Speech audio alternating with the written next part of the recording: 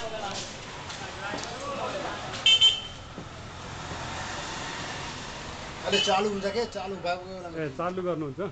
चालु भएको बेलामा